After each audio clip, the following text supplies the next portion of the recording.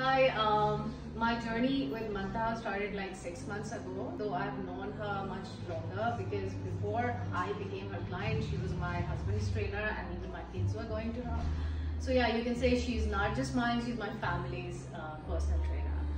Okay, and uh, besides weight loss, uh, wellness is because not just weight loss. This is not why I came to her. I had spinal issues for quite some time, so um, I came to Mantahaa uh, with my MRIs, and uh, she consulted uh, a doctor as well for me, and she uh, planned a very tailored regime for me. And uh, the wonderful part is that that one hour that we work out is never boring because it's never monotonous. So each day is a new plan and uh, in six months I can say I feel a lot better, a lot stronger. My muscle strength has uh, improved a lot and, uh, and in the process I've also lost a lot of uh, uh, fat.